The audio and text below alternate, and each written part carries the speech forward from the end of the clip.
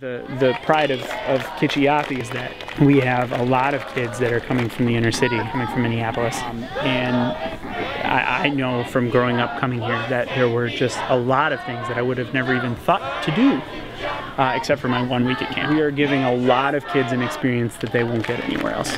Um, this is my fourth year of camp and I love swimming. Camp is probably my favorite place to be ever and it's something I look forward to every year.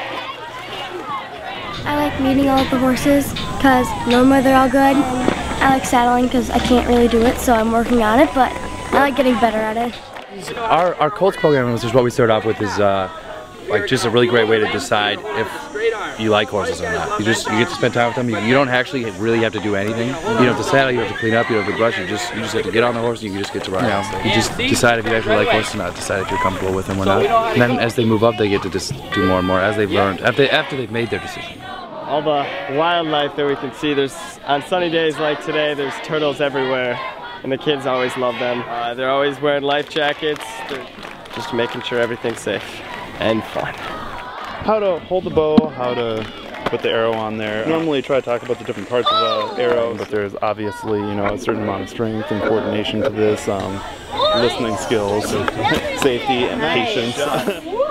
Pretty much we have the bouldering wall over here and the goal of that is to climb across it, not up.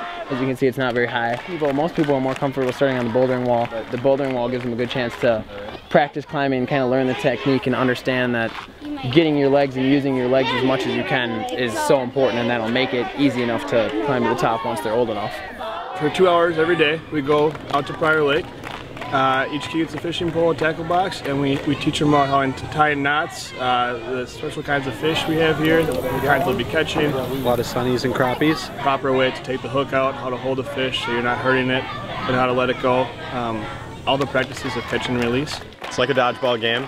Ball has to stay on the ground. Uh, you get hit by the ball below the waist, you're out. Um, can't pick it up, can only slap it. And yeah, that's Gaga. Like some of them makes you go real fast, and uh, if you lift your feet up uh, while you're up on the steps, you go faster. my opinion. They're good. Every year I look forward to coming to camp. We're, we're taking a really important mission of giving kids an opportunity to do things that they won't often do uh, elsewhere and then refining it and